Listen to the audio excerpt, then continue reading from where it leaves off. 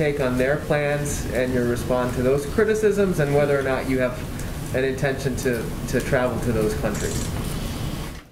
Um, well, at some point, probably uh, travel will be warranted. Uh, we're, we've been in conversations with both, with their teams on this subject. Uh, we're not at a place where we feel like we're prepared to, uh, you know, make the journey because there is a sense that there may be something concrete that we can define. But I think there may be chances of it. I listened to President Putin today. I thought he was uh, pretty rational and put some decent visionary thoughts on about things we might want to be looking at and cooperating together. And he talked about that possibility.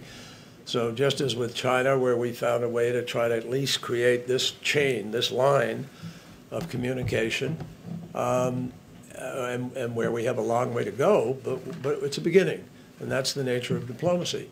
But I think that uh, uh, I, I, think that uh, we're in a place where um, we will have the ability uh, to be able to create enough progress uh, with other countries that those countries are going to come along too.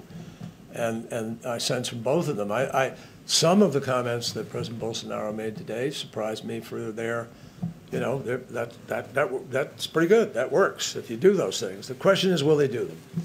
And the question is, what's the follow through and enforcement? Now, one of the things you ought to take note of is this program, the TRACE program, which Al Gore and different entities have been involved in, which is now the satellite capacity to measure in real time what the footprint is of corporations or, or countries all around the world. And, and so there's no hiding anymore. And, and there's going to be real time tracking and that's one of the things that will come out of Glasgow, I think, is sort of what's the accountability structure going to be here for countries to be able to move. So I think that uh, you know Russia has reduced some emissions. Their their economy is very different from Mars and a lot of people on the planet.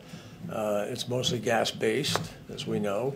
Uh, that presents challenges for them going forward. So I think there's room to hopefully have a discussion about this, and, and we'll see if we can find some common ground.